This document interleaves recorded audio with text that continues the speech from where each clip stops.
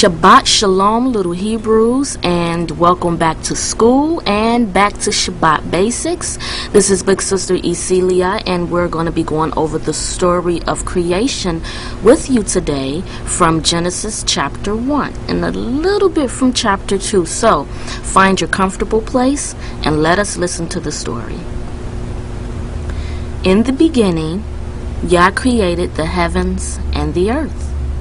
And the earth was formless, little Hebrews, so it had no shape, and empty, so it was not filled.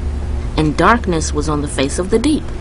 And the Spirit of Yah was moving on the face of the waters. So remember this, little Hebrews, because in the beginning, Yah created the heavens and the earth, and evolution is a lie. And Yah said, Let light come to be and light came to be. And Yah saw the light, that it was good. And Yah separated the light from the darkness. And Yah called the light day, and the darkness he called night. And there came to be evening, and there came to be morning, the first day. And Yah said, Let space come to be in the midst of the waters, and let it separate the waters from the waters. And Yah made an expanse or an area of space, little Hebrews. And he separated the waters which were under the space from the waters which were above the space, and Yah called this area of space heavens. And there came to be evening, and there came to be morning, the second day. And Yah said, Let the waters under the heavens be gathered together in one place, and let dry land appear. And it came to be so. And Yah called the dry land earth, and the collection of waters he called seas. And Yah saw that it was good. And Yah said, Let the earth bring forth grass, the plant that yields or produce or make seed, and the fruit tree that yields fruit according to its kind, whose seed is in itself on the earth. And it came to be so. And the earth brought forth grass, the plant that yields seed according to its kind, and the tree that yields fruit, whose seed is in itself according to its kind. And Yah saw that it was good. And there came to be evening, and there came to be morning, the third day. Now notice, little Hebrews, that one day involves both night and daylight hours. A new day starting when the sun has set. This is why your Shabbat day, your Sabbath day, begins on what we know as Friday night. Because when the sun sets, that actually starts the night hours of Saturday. Let us ask ourselves who decided that a new day begins in the middle of the night? I think we all know the answer to that question. So everything is backwards in this world, little Hebrews. Yah says, Let there be evening and morning the first day. Satan says, Let there be morning, then evening the first day. But let's not move too far ahead of ourselves. And Yah said, Let lights come to be in the area of the heavens to separate the day from the night and let them be for signs and appointed times, and for days and years, and let them be for lights in the area of the heavens to give light on the earth. And it came to be so. Notice, little Hebrews, that Yah said, Let them be for signs and appointed times, and for days and years. This is why we know, even if somebody came into your house and stole all of your clocks and took all of your watches, you know that the beginning of a new day is when the sun has set and it's dark outside. And it came to be so. And Yah made two great lights the greater light to rule the day, and the lesser light to rule the night, and the stars. And Yah set them in the area of the heavens to give light on the earth. and to rule over the day and over the night, and to separate the light from the darkness. And Yah saw that it was good.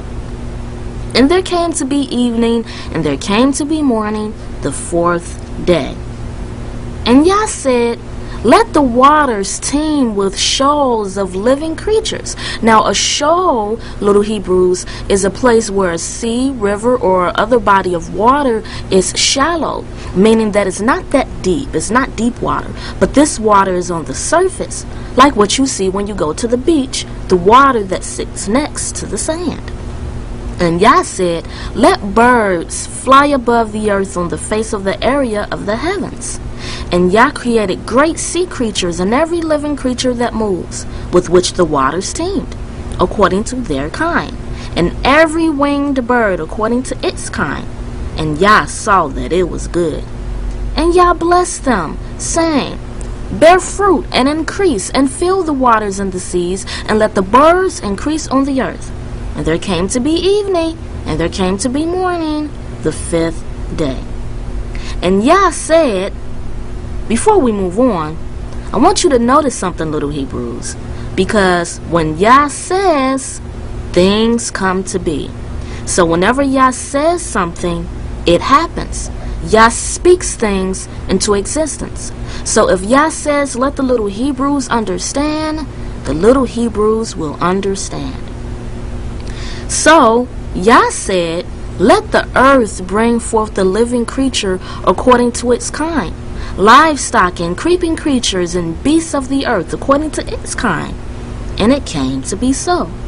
And Yah made the beast of the earth according to its kind, livestock according to its kind, and all that creep on the earth according to its kind.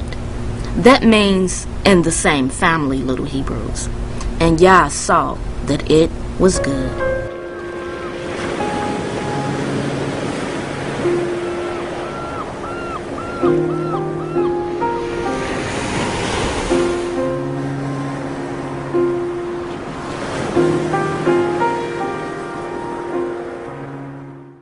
And Yah said, Let us make man in our image, according to our likeness.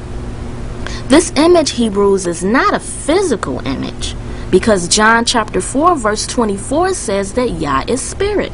So because Yah is spirit, he does not think with the flesh. So this image is not according to the flesh. This does not mean eyes and ears and mouth and nose, head, shoulders, knees and toes, you know, that thing. But this image is according to the Spirit love and righteousness, peace and justice. So again, we were created in the image of righteousness, in the image of truth, in the image of peace, in the image of justice, in the image of love, as it's given to us in the book of First John, chapter 4 verses 6 through 8. And again, that's referenced, and again, uh, another reference for that is the book of Genesis, chapter 1, verses 26, where Yah tells the righteous angels, Let us create man in our image. Again, in the image of love, righteousness, truth. And so, anytime we're not acting in the image in which we were created, then we are in the image of Satan, and we become children of Satan, sons and daughters of disobedience.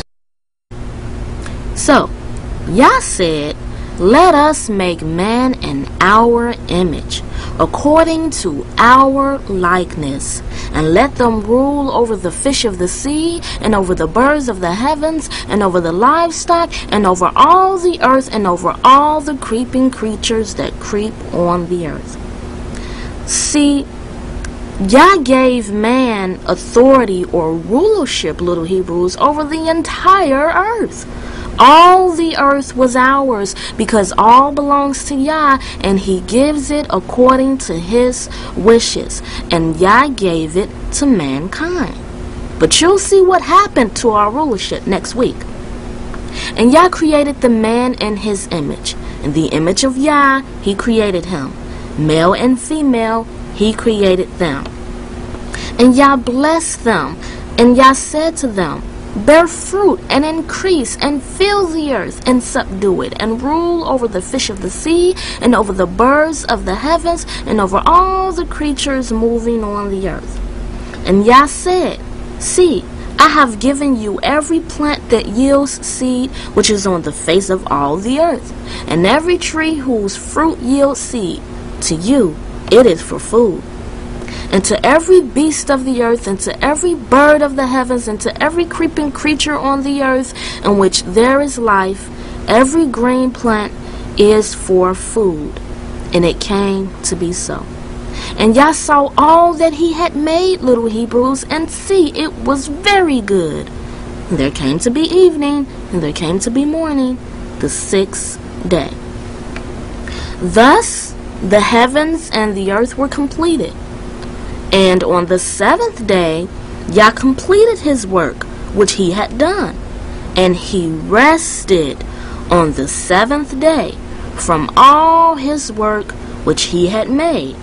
And Yah blessed the seventh day and set it apart, because on it he rested, little Hebrews, from all of his work which he did in creating a.